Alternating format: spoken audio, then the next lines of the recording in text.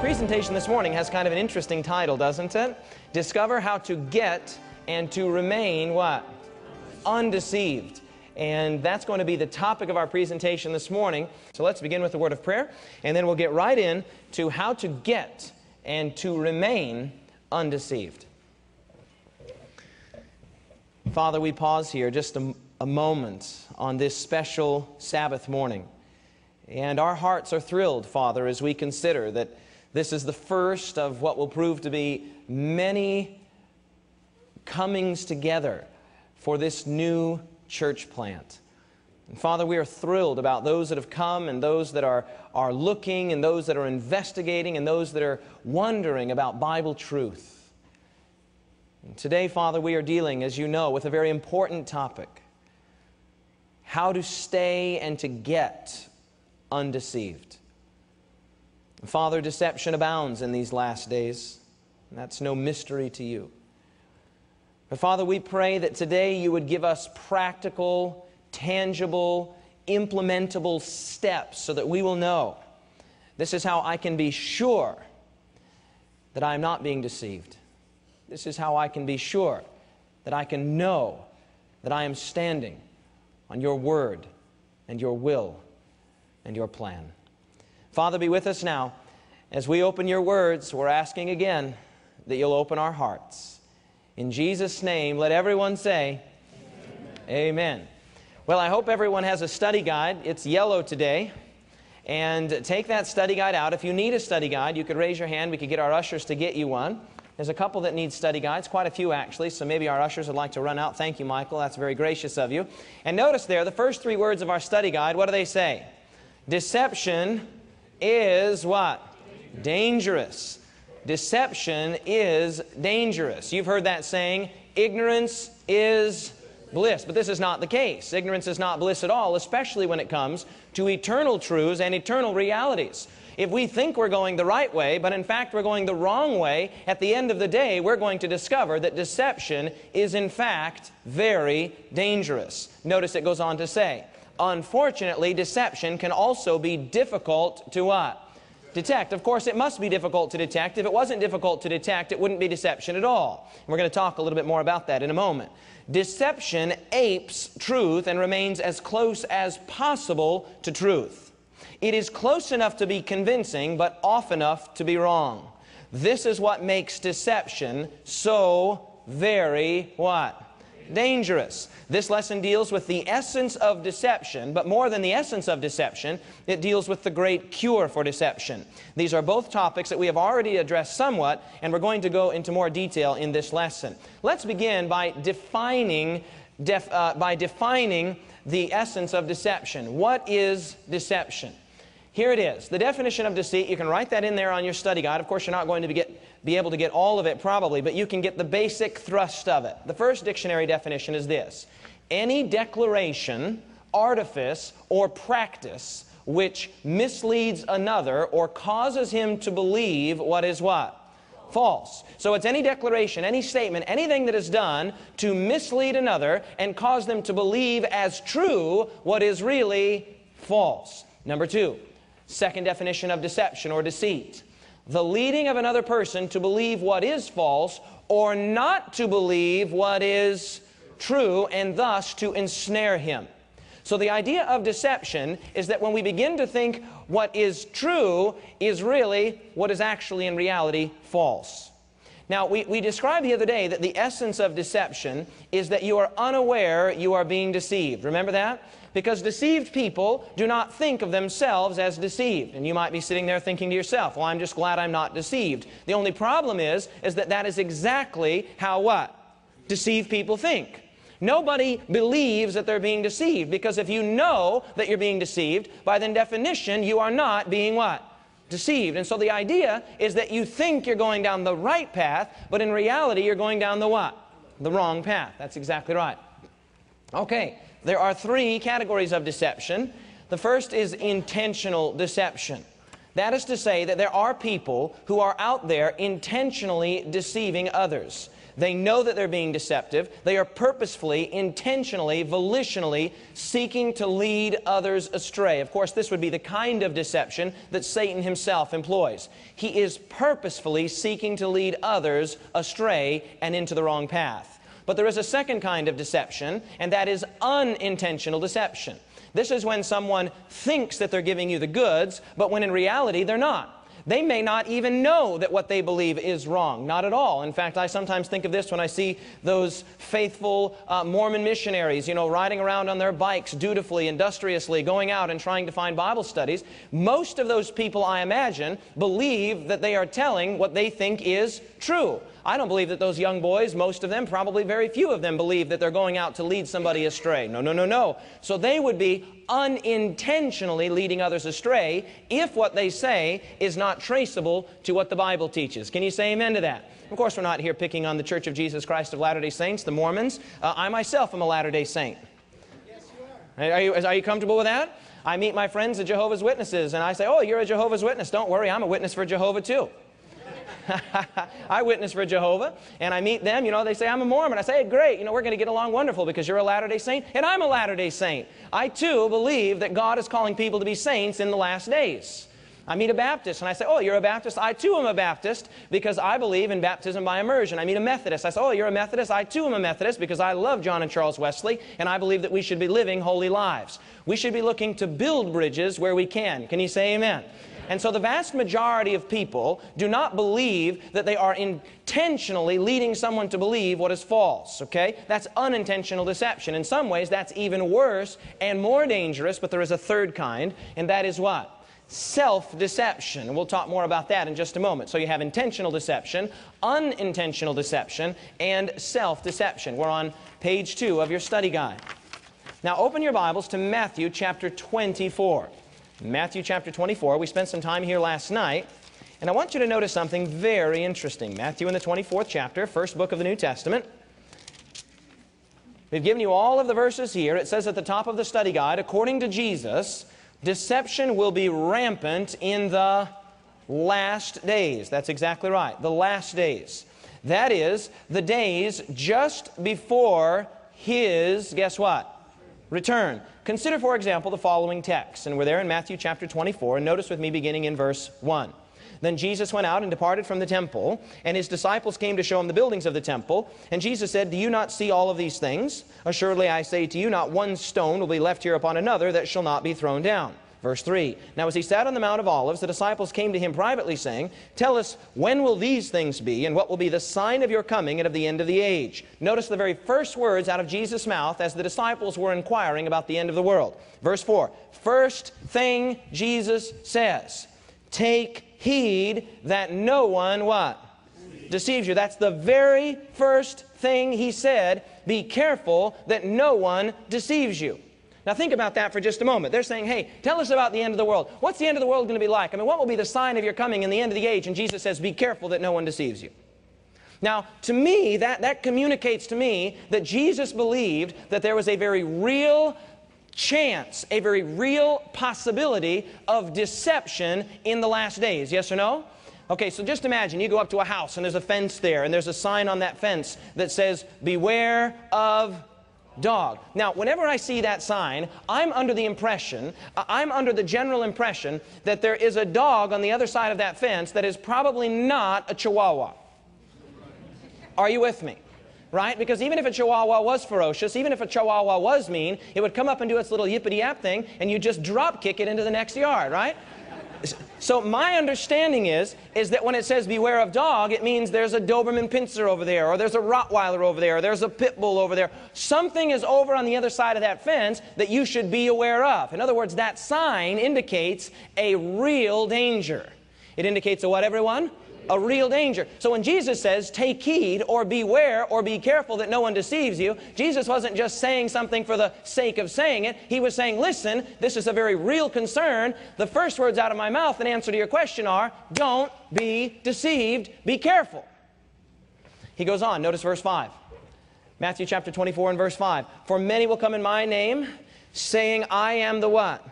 The Christ, and will deceive a few ignorant, naive knuckleheads who aren't paying attention. Is that what the Bible says? It says, For many will come in my name, saying, I am the Christ, and will deceive what?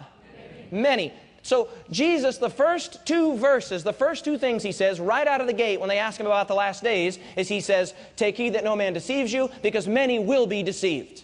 Jump down to verse 11. Jesus speaking. He says, Then many false prophets will rise up and deceive what? There it is again. Will deceive many. Jump down to verse 24. For false Christs and false prophets will show great signs and wonders to what? Deceive, if possible, even who?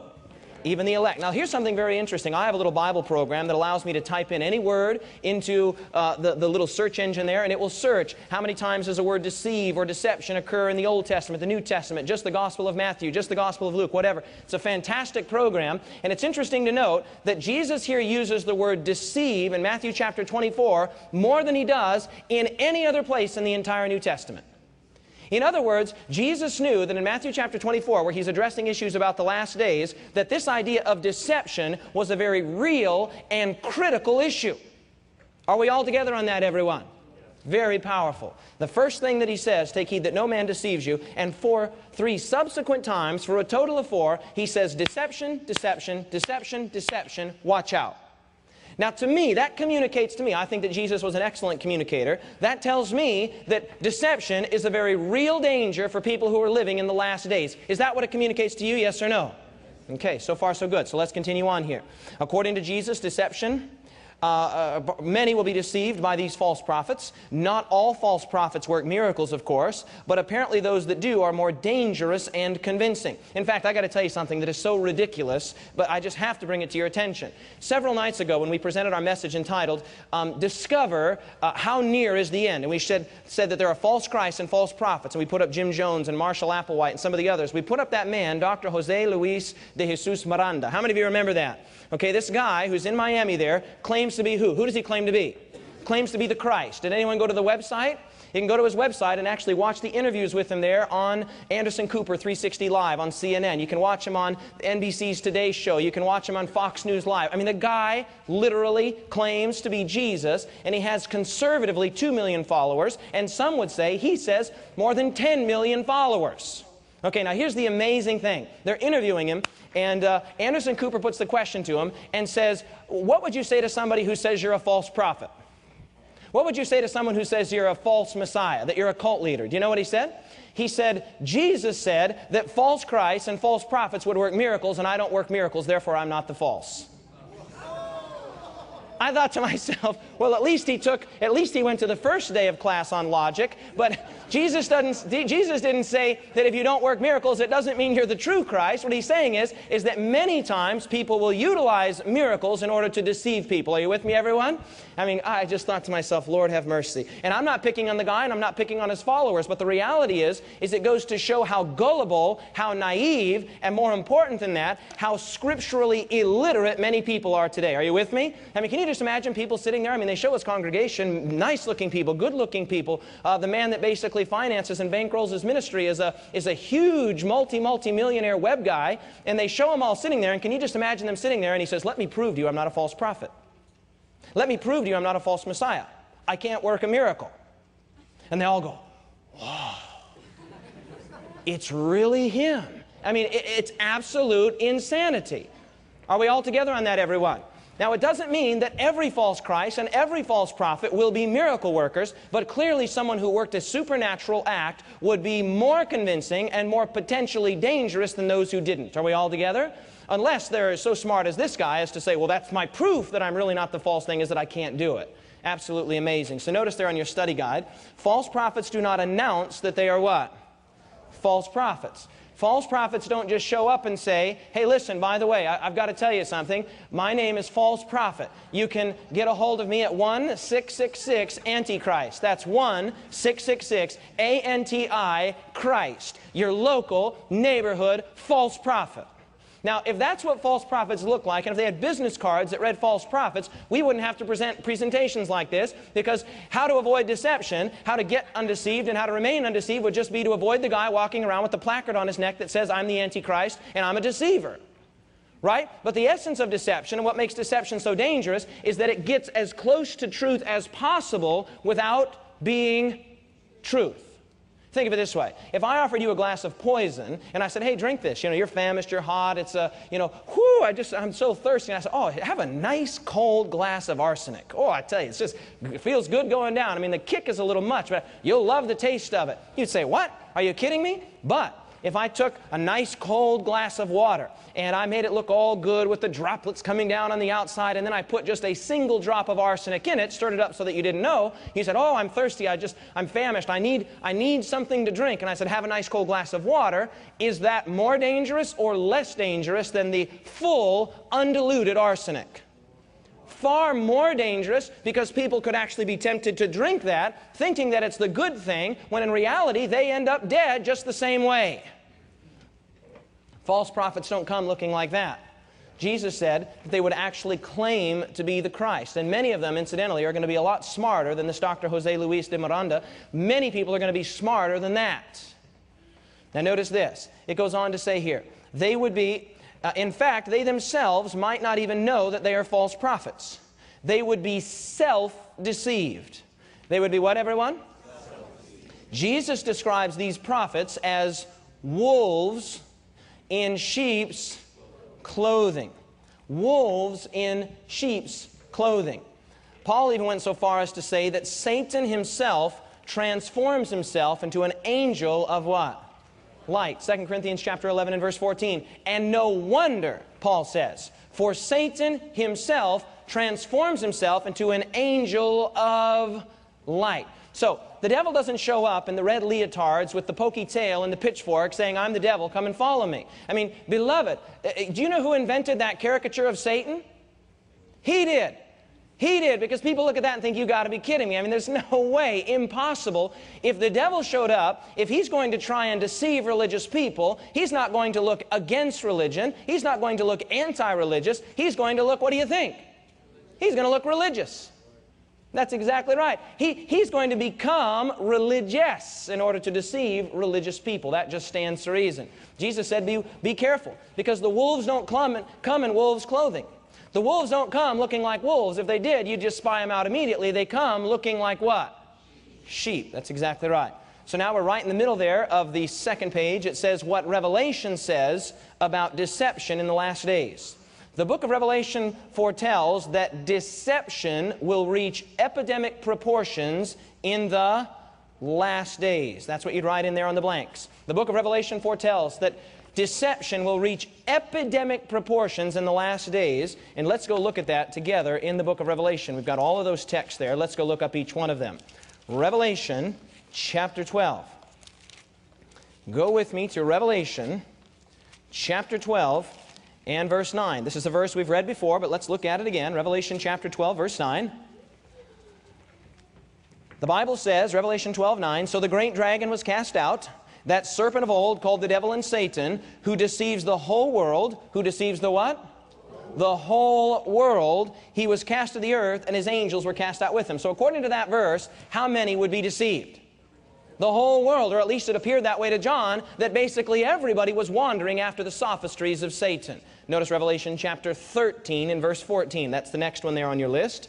It says, And he deceives those. And he what? He deceives those who dwell on the earth by those, what's the next word? signs. Revelation 13, 14. By those signs which he was granted to do in the sight of the beast, telling those who dwell on the earth to make an image to the beast who was wounded by the sword and lived. And you might be looking at that verse thinking, what does that mean? We're going to spend time on this. By the way, those of you who are astute Bible students have already noticed that there are, in fact, two beasts in Revelation chapter 13. We've only identified the first beast. Who's the second beast that comes up out of the earth that has two horns like a lamb? We're going to spend time on that. The point here is this, is this. When he goes to deceive, he uses signs and wonders and miracles. I had a young man just the other day say, you know, there's this strange fire in Jerusalem. I don't know if you've heard about this. It's called the Holy Fire.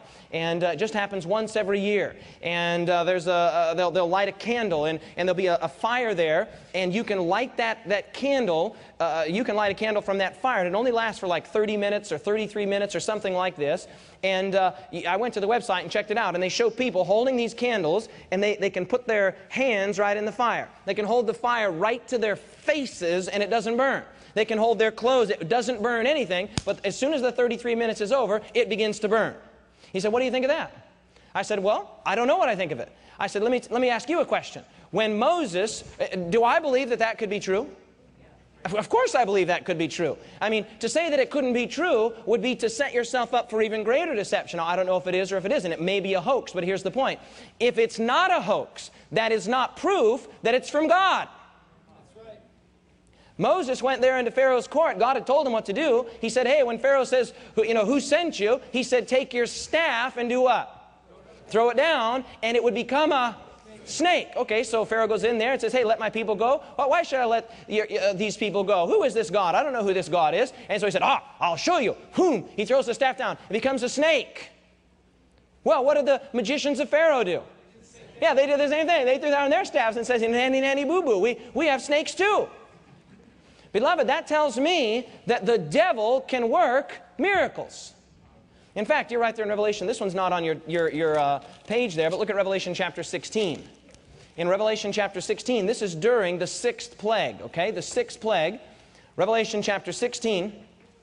Notice with me verse 12. You might want to write this one down because it's not there in your notes. Then the sixth angel poured out his bowl on the great river Euphrates, and its water was dried up so that the way of the kings of the east might be prepared. We might spend some time on this. Verse 13. And I saw three unclean spirits like what?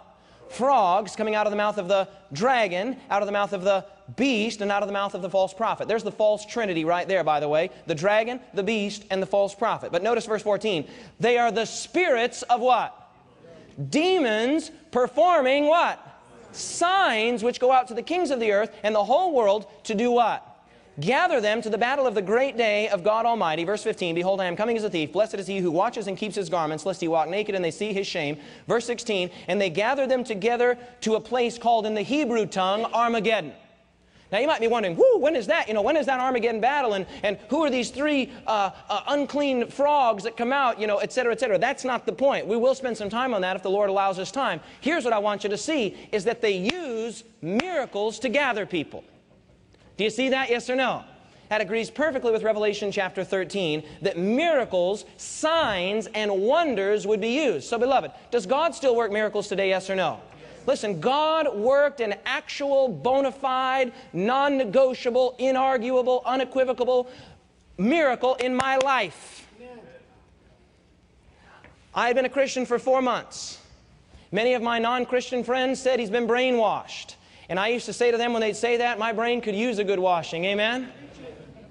They say, oh, he's been brainwashed, and, and oh, David, he's lost his mind, and blah, blah, blah. And many of my friends, because I came from a very interesting community, I came from the punk rock community. My hair was purple, blue, red, hair, orange, long hair, no hair, dreadlock hair, tattoos all over me. That was my community. And when I became a religious person, I had committed the highest form of treason.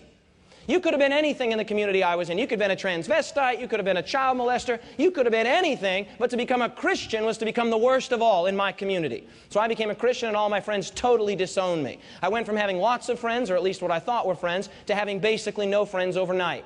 And uh, something happened. I was out rock climbing with one of the few friends that would still spend a little time with me. His, his name was Luke. And uh, I was up rock climbing, and I was doing actually a maneuver called a heel hook, which, which I don't recommend unless you know rock climbing. But anyway, I was trying to pull over the top of this rock, and you hook your heel up just like that right? And you help you use your heel to help pull over. You might be thinking, is he really doing that on the pulpit? Yeah, I'm really doing it. So I was trying to pull myself up over, and what happened is that it rained the day before, and there was a little water down in the pocket. And so when I reached up to grab that little handhold, guess what happened? I slipped. So as I slip, I'm coming off the rock like this. I was about 20 feet in the air, no ropes. Okay? I was doing what's called bouldering. And I come down like this, and there's a great big triangular pyramid shaped rock right below me. Bad choice. Okay? It, normally it would have been a very easy thing for me to do, but I had forgotten about the rain and there was water in that pocket. So I come shooting off this thing like a rubber band. I'm looking at that rock, and uh, I try to step over the rock, but I catch my toe right here, the tip of my toe on the tip of that rock, and when I fall down, I fall down just like that. And guess what happened to my leg? broke it for the third time. Right? I've broken my right ankle three times because before that I was trying my lot as a professional skateboarder. Okay? I've done many things. Here's the point. My leg broke and I knew it. I knew it immediately. Okay? So here's what happened. My two buddies, Luke and Travis, they put one arm on this side, one arm on this side. They take me into town, and uh, I called up the, the person that I was working for. I was actually working at a vegetarian restaurant because I was taking time off of medical school trying to decide what God wanted me to do with my life. So I called her up and I said, hey, listen, I'm not going to be able to come to work tomorrow. Why not? She said, well, um, uh, she, I, she, said, uh, uh, pardon me. I said, I'm not going to be able to come to work. And she said, why not? And I said, I broke my leg again. I broke my ankle. She said, Well, I've got this doctor over here, and, and we'll provide him some free meals because I didn't have medical insurance. We'll provide him some free meals. Go up there, get it x rayed, and get it taken care of. So I went up there to Dr. Gary's office. I go into Dr. Gary's office. Sure enough, he x rays me and uh, says, You know, third time you broke it. It's a hairline fracture. I Can see it. My ankle is all swollen up, swollen up big purple and black and blue. And so now I was on crutches. Went down to Rushmore Medical Supply there. I was from Rapid City, South Dakota. Got myself some crutches. The lady said, Oh, that ankle looks terrible. I said, Yeah, it looks really bad. I went hobbling out of there. Went home. I said, Mom, look what happened to my ankle. Oh, no, third time. Okay, here's the point. I knelt down that night and I said, God, I'm sorry.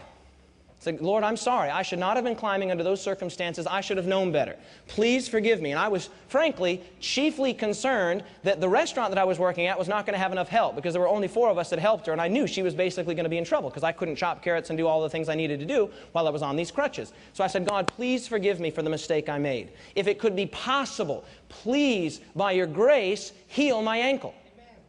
I just ask. I said, if, if that's possible, if there's some way in your plan that you could forgive me for this thing, I see that I've done wrong. And so I went to bed that night, and the next morning I just had this voice, this, this, this sense that said, hop out of bed. Hop out of bed on a broken ankle, right? And uh, I had one of these air casts on where your toes still stick out the front, and I, so I, I just hopped out of bed. And I began to flex up on my toes, and I felt there was no pain.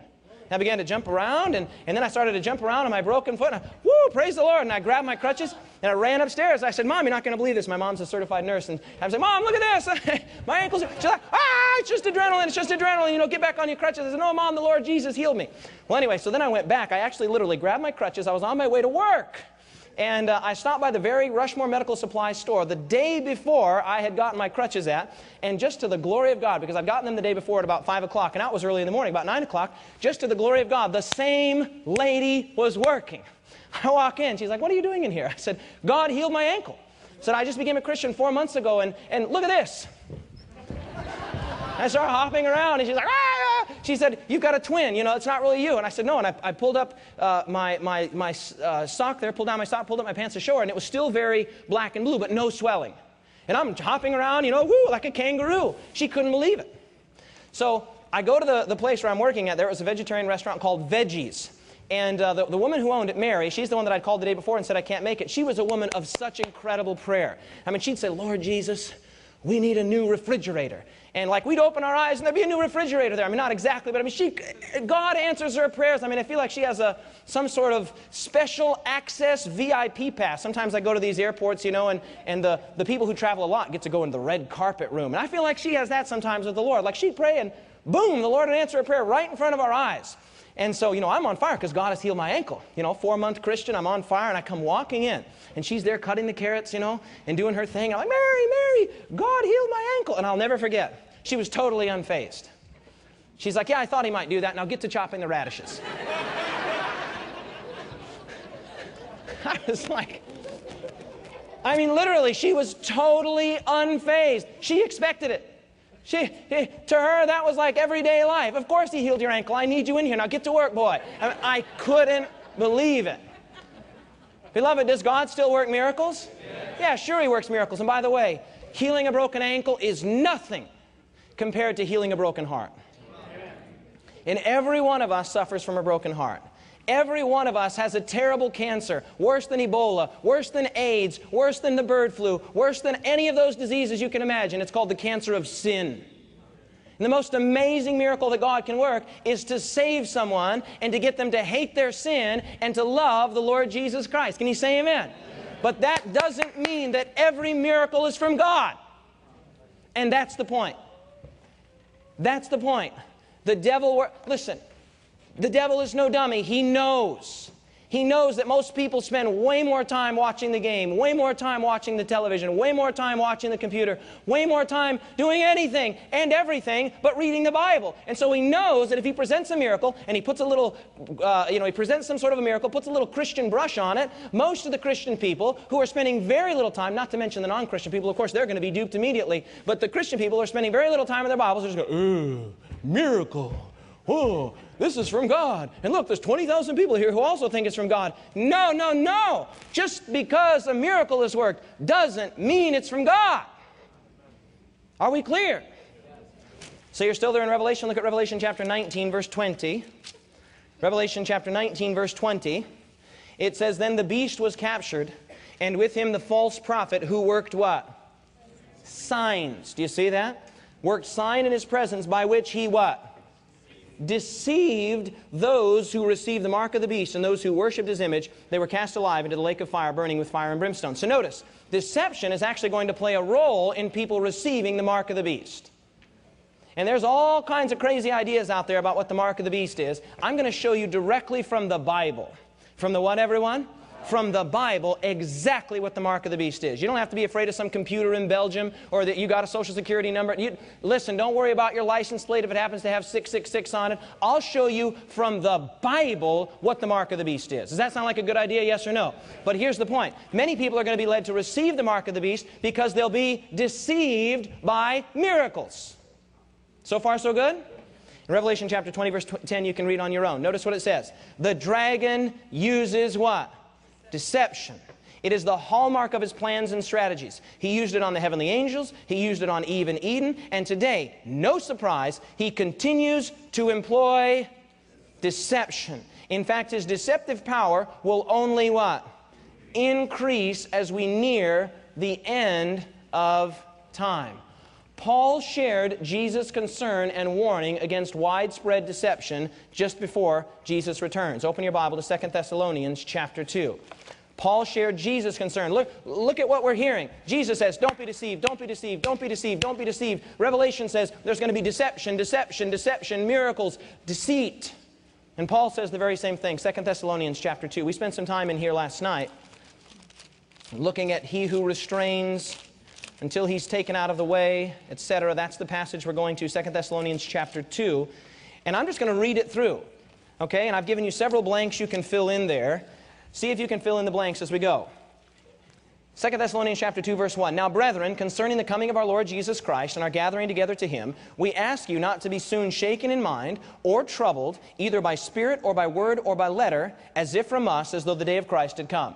Even if you get a letter that's signed Paul, even if a spirit appears to you, even if an angel appears to you, he says, don't be deceived because something has to happen first. Don't believe that the day of Christ has come because something else has to happen first. Verse 3. Let no one what?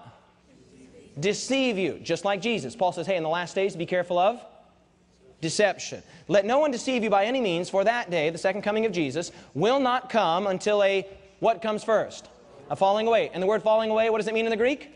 A divorce. That's right until the falling away comes first, and the man of sin is revealed, the son of perdition, talking of the Antichrist, who opposes and exalts himself above all that is called God, verse 4, or that is worshiped. Remember, worship at the end is the issue. So that he, as God, sits in the temple of God, showing himself that he is God. Now think about it. If he's showing himself that he's God, clearly he's a religious figure. Is, am I the only person in the world that that makes sense to? I mean, could an, could an antagonistic religious figure go into the temple of God and say, I'm God, and deceive anyone? Paul was smarter than that. Jesus was smarter than that. I mean, come on, they're not going to say, oh yeah, when this guy comes on the scene that clearly hates Jesus, is antagonistic to Jesus, defies Jesus, and stands against Jesus, and overtly opposes Jesus, don't be deceived. Don't be deceived. I wouldn't even give the guy one second. The problem here is that this guy goes into the temple of God pretending that he is God. Oh, and by the way, he's working miracles. So he even looks like he's God's representative on earth. Paul says, Don't be deceived. Verse 5 Do you not remember when I was with you that I told you these things? And now you know what is restraining, that he may be revealed in his own time. We talked about that last night. Verse 7 For the mystery of lawlessness. By the way, I just want to say something here very quickly. Some people say, Well, why did Satan sin? I don't understand that. Why did Satan sin in the first place? I'm confused. How does a perfect being in a perfect environment uh, with a perfect God and a perfect creator sin? Notice it calls it the mystery of lawlessness. Quick question for you. Is a mystery something you do know or don't know? You don't know. Beloved, you cannot explain the origin of sin. If sin could be explained, it could be excused. If you could give a reason for sin, then you could give a justification for sin. It's the mystery of lawlessness. Don't ask me how he did it or why he did it. I'll ask God when I get to heaven. I don't even know if God knows. It's a total mystery. How, how does it happen? We don't know. The mystery of lawlessness. Verse 8 and then the lawless one will be revealed. That's the Antichrist, whom the Lord will destroy with the breath of his mouth and consume with the brightness of his coming. The coming of the lawless one is according to the working of who? Satan. And notice verse 9. With all power and signs and what else? Lying wonders. So he's using clearly miracles and supernatural things. Verse 10. And with all unrighteous deception, there's the word, among those who perish because they did not receive the love of the truth, that they might be saved. Beloved, according to that passage, if, the, if all you knew was that passage, what is the cure for deception? Truth. And not just a truth, but what does it say? The love of the truth. Okay, now you can go fill in those blanks there. Paul was concerned about number one, the day of the Lord's return. Number two, the deception of the man of sin and Satan himself. So, number one, the day of the Lord's return. Number two, the deception of the man of sin and Satan himself. Number three, the rejection of truth and the embracing of lies, lying wonders. And number four, the deceitful nature of both sin and Satan. Jesus was concerned about deception. Paul was concerned about deception. We should be concerned about deception. And oh, please, Christian person, oh, please, believer, don't sit there and say, Whoo wee! I'm glad he's not talking about me because I'm undeceived. Because as we said again, that is exactly how deceived people think. Is that clear, everyone? Okay, let's continue on here. Jesus, Paul, and John in the book of Revelation make it clear that miracles, signs, and wonders will be employed by who, everyone? Satan to deceive. But it gets even worse. Notice that. My own heart betrays me. That's the next study guide headline there. According to Jeremiah chapter 17 and verse 9, what is the most deceitful of all things? Here it is Jeremiah 17, verse 9. The heart is what? Deceitful above all things and desperately wicked. Who can know it? You think, oh, I wonder who that's talking about. That must be talking about Saddam Hussein. That must be talking about Osama bin Laden. Do you know whose heart that's talking about? Yours. The heart is deceitful above all things and desperately wicked, so much so, who can know it? Now, notice this. Perhaps the most dangerous kind of deception is self deception. Self deception. I'm going to give you four verses here very quickly. Write them down. Here's the first one. Perhaps the most dangerous kind of deception is self deception. Here you go. Number one, James chapter 1, verse 22. That's the first one. But be doers of the word, of the what? the word, and not hearers only. What are the next two words? Deceiving what? According to that verse, can you deceive yourself? Second verse, verse 26. If anyone among you thinks he is what? How many people here think they're religious? Raise your hand. I think I'm a religious person. Why not? I love the Lord Jesus Christ. I would consider myself to be a religious person. But notice what he says. If any of you thinks he is religious and does not bridle his what? In other words, you can't control your mouth, but deceives his what? His own heart. This one's religion is useless. James wasn't against religion, but he was against useless religion. According to these two verses here, is it possible to deceive yourself? Absolutely. Notice this one. Galatians chapter 6 and verse 3. For if anyone thinks himself to be something when he is nothing, what does he do? He deceives himself. Galatians 6 3. Here's another one. 1 Corinthians 3.18, let no one deceive himself. Why does he say that, let no one deceive himself? Because that's Satan's job. He's basically saying, don't do the devil's job for him.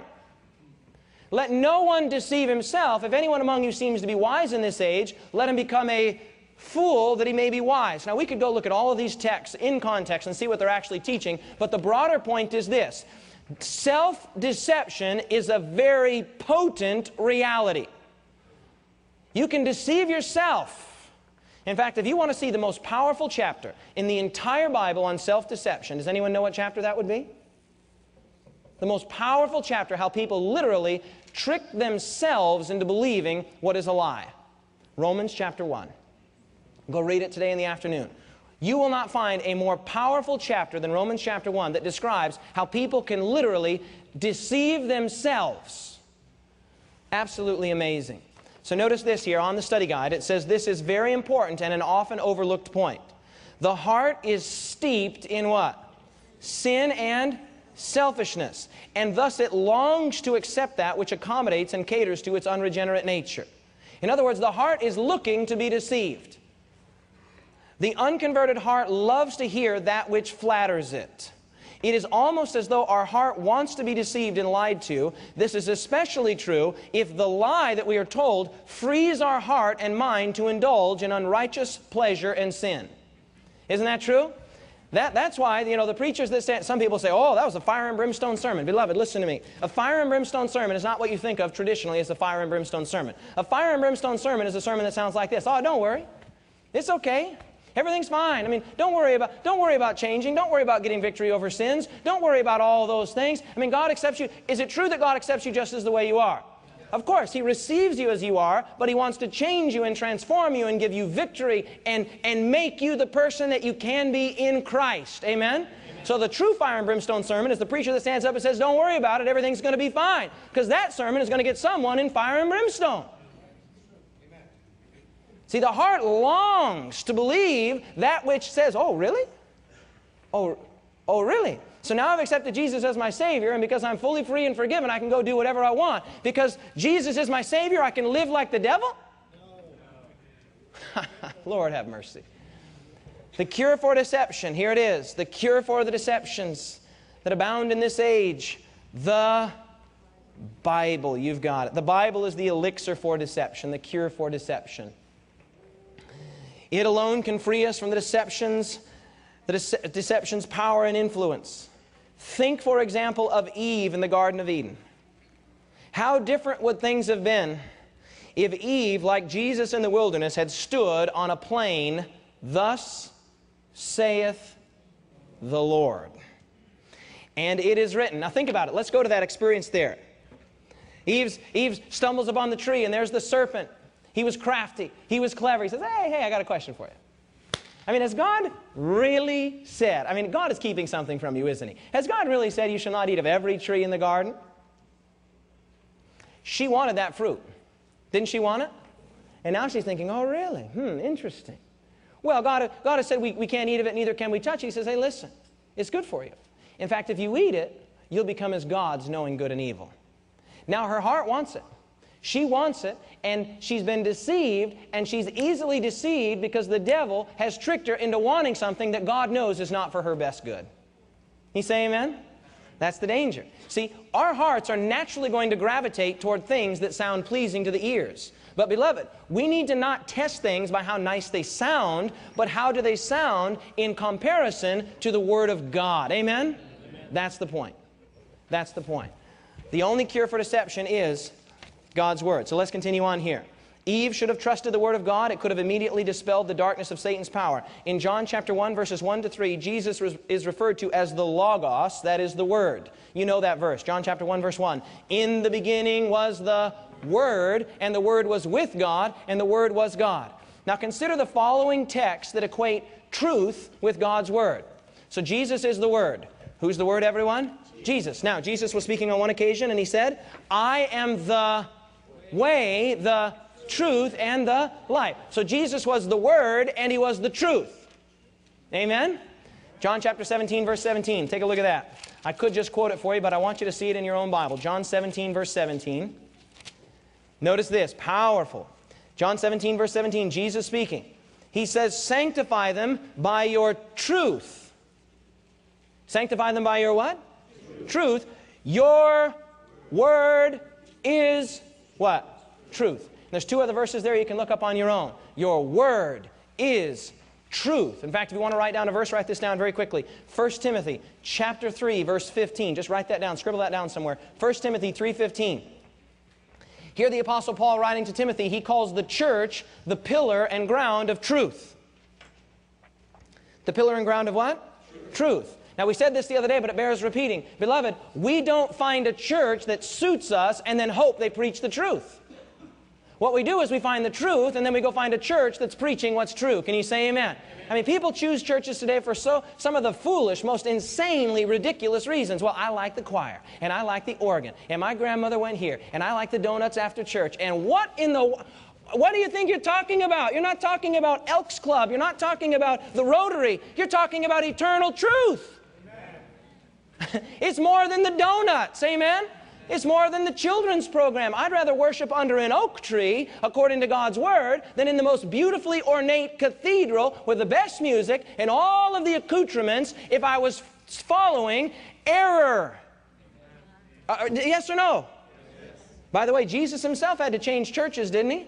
He began his ministry. He said, Take these things out of here. You've made my father's house a den of thieves. But at the end of his three and a half years of ministry, he said, Your house is left to you desolate. Jesus didn't want to leave that church, but when they rejected truth, he had no choice because he was the truth. Amen?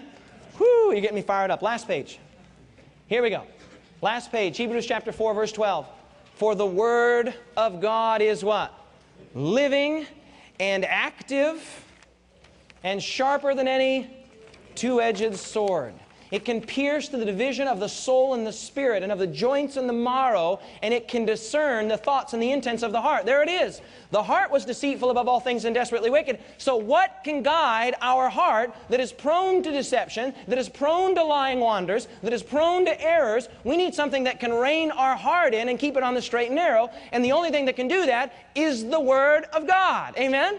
Notice, it discerns the thoughts and intents of the heart. Have you ever just been reading the Bible and uh, you're just reading, you know, just sit down for a nice morning devotion and all of a sudden, boom, God drops a bomb and you think, wow, I, how did he do that? I feel like this whole verse was written and preserved down through 2,000 years of human history just to speak to me on this morning. Anyone ever had that experience?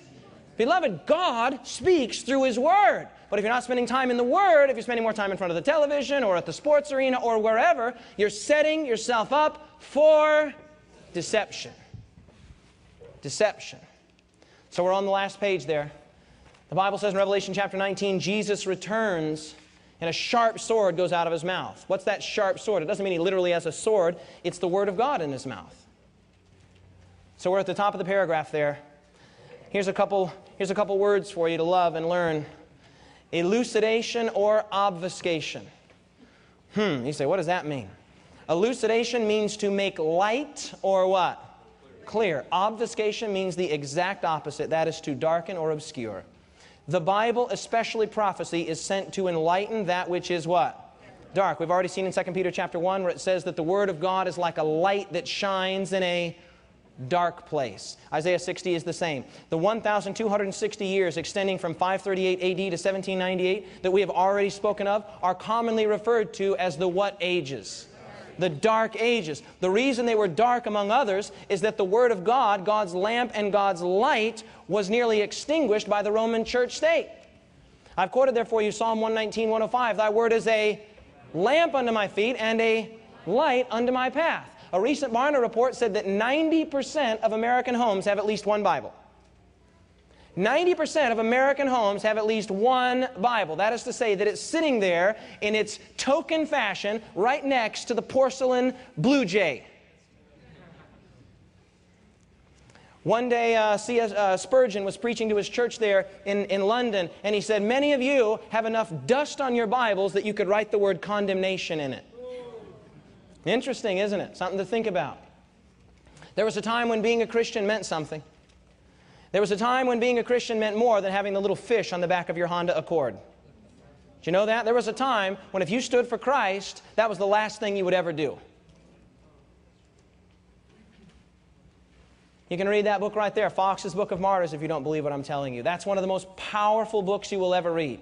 Stories of, of men and women standing for truth under the most severe persecution. I mean, grotesque things, things that are so ugly and repulsive that I wouldn't even mention them uh, in a church service like this. I mean, grotesque things that were done to people for why? Standing for God and standing for His truth. Terrible. William Tyndale, in October of 1536, was killed. He was martyred under the King of England's decree by the Roman church state. It was the Roman church state who said, kill that man. Do you know what William Tyndale's crime was? He translated the Bible into English. That was his crime. His last words were, Oh God, open the eyes of the King of England. And they strangled him to death and then they burned his body. Beloved, that book you have in your hand right there, that's a blood bought book. Thousands of men and women down through the ages shed their blood so that you could have that Bible. Today we have every kind of Bible you can imagine. Today we have the women's devotional Bible and the men's devotional Bible and the African American devotional Bible and the gay and lesbian study Bible. I mean, every kind of study Bible. We got every Bible for every person, but so few people are reading their Bibles. Are you hearing me? Very few people actually sitting down to read. Beloved, William Tyndale and uh, hundreds of others, thousands of others, those, those pages in that book are stained with blood. Those people said, we've got to let people have the truth. Why? Because the Bible had been locked up in, other, in, a, in a language that the common people didn't understand. It was chained to monastery walls. It was chained to temple walls in the Latin language, which the common person couldn't understand. And people like Tyndale and others, Huss and Jerome said, no, no, no, no. We've got to get this out into the common circulation. People need to see that the Roman church state is leading people astray. If they can just get the word for themselves, they'll have the cure for the deceptions of the Antichrist. Powerful. There was a time when being a Christian really did mean something. There was a time when it was illegal to own a Bible. You were caught with that book in your hands, you, you could be stoned or burned or far worse. This here is a picture of a Waldensian museum in the northern valleys, valleys of Italy. This was a group of people, the Waldensians in the Piedmont valleys there, that would, that would take, uh, uh, sitting down at copy tables, and they would, uh, not coffee, but copy tables, and they would write uh, sections of Scripture, and they would go into town as merchants and, and sell merch, uh, goods and other articles and things, and give them little pieces of Scripture. To, they were trying to get it out, trying to get the word out in those dark, dark ages. And sure enough, in the providence of God. In 1455, a man by the name of Gutenberg printed the Bible. It was the first book ever printed. I mean, it was just like God was, God's timing is impeccable. Just as the printing press, because prior to that, Bibles were very expensive. Because you had to pay somebody to handwrite it out. I mean, it was extremely expensive. Only the most elite and the wealthiest could own a Bible. But here, a man named Gutenberg invents this thing called the printing press. The first book that was ever printed on a printing press was the New Testament. Second book was the Old Testament. And the Bible begins to go like wildfire at the very same time that it's getting translated into the common languages English and German and other languages. It, that was not just a coincidence. God knew that just as the translations were coming, there needed to be a quick, rapid way to get those things out there. And it's no coincidence that it was invented right on time and that the first book ever published on a printing press was the Bible. Ha, powerful, beloved. Martin Luther, in his defense before the council at Worms on April 7, 1521, he was the, the monk who had discovered, he had discovered the great truths of Scripture and he began to reject the pomposity of the papacy. He began to reject all of the accoutrements and paraphernalia of this huge religious establishment. And he, he saw four words the just shall live by faith. The just live by faith. He saw those four words, it changed everything. Those four words changed the world, beloved. And he was standing there before the Council of Worms. Martin Luther would later say in his diary, he thought he was walking into that room, it would be the last thing he ever did. And this is what he said. You've heard this probably before, some of you. Unless I shall be convinced, because they said, retract, take it all back. It's all lies. Take it back and bow to the authority of the Pope, bow to the authority of the church. He said, listen, unless I shall be convinced by the testimonies of the what? the scriptures or by clear reason, I neither can nor will make any retraction, since it is neither safe nor honorable to act against what? Conscience. And then he said, God help me. And he walked out. God miraculously preserved Martin Luther. He didn't die a martyr's death. He died in his old age. God preserved him. Beloved, we need that kind of boldness, that kind of courage today. Amen? Whoo, I tell you. The four essential questions of life. Where am I from? Origin. Why am I here? Meaning. How should I live? Morality. And where am I going? Destiny. The Bible has the answers to those questions. The Bible has the answers to those questions. Paul said, notice it right there in your study guide. 2 Timothy 3:13, but evil men and seducers shall wax what? It'll get better and better at the end of time. What does it say? Worse and worse. And what will they do? Deceiving and being deceived. Deception would reach epidemic proportions, colossal, colossal, monumental proportions just before the end of time. So then how do we do it? It's very simple. And everything hinges on the Word. You want to get undeceived, you want to remain undeceived, it's actually very simple. You got to read the Word. Amen? You got to read it. It's good to come to these seminars. I'm thrilled you're coming to these presentations. Listen, praise the Lord Jesus. If you were presenting and you were preaching what I'm preaching, I'd be sitting where you're sitting. I promise. Uh, it's not about the man, it's about the message. Amen? Amen? So it's good to come to things like this, but you have to spend some of your own time reading the Bible. Amen. Number two, you got to study the Bible. You say, well, I thought you just said that. There's a big difference between reading and studying. Amen. Isn't that true? I learned that in anatomy. You can read the anatomy textbook, but you get a, you get a D or a C on the test. You want to get an A on the test, what do you got to do? You got to study it. Okay? There's a big difference between reading and studying, and what we're doing in these presentations is I don't just stand up and start reading, we're studying. Okay, and it's one thing to study in a group, and praise the Lord Jesus for that, but you also need to learn how to study on your own. Some people don't know how to study the Bible. Well, you keep coming, and we'll give you the tools to teach you how to do it for yourself. Amen? Amen. Number three, believe the Word. Believe it. It's true. It's absolutely true. I wish I had time to go into why I believe the Bible is the inspired Word of God and give you many evidences, many reasons. Number four, obey it. Amen? Don't be hard hearted. Don't be stiff necked. Don't be stubborn. If you see something that's in the Bible, and it plainly is in the Bible, even if it's different than what you used to believe, even if it's new from what you used to believe, if it's in the words, if it's in black and white or red and white, believe it and obey it. Amen? Amen? He said, Oh, I can't make a, I can't make a break. I can't make a break from what I've always believed. I had a young man say to me just the other day, How could I ever, how could I ever become a member of your church? I didn't ask him to become a member of my church. I never even mentioned anything about my church. He said, How could I become a member of your church and leave this church that I was born up in and raised in, and my whole culture surrounds this church? I said, Hey, listen, you are, we'll, we'll just call him for the sake of purposes, we'll call him a Macedonian. Okay? I'll say, Hey, listen, you are a Macedonian. But before you were a Macedonian, you were a child of God. And there is a heart, there is a stronger call on your life than the Macedonian call. There's a stronger call on your life than your parents' call, than your cultural call. God knew you and made you and formed you before you were any of those things. And so your first responsibility is to God.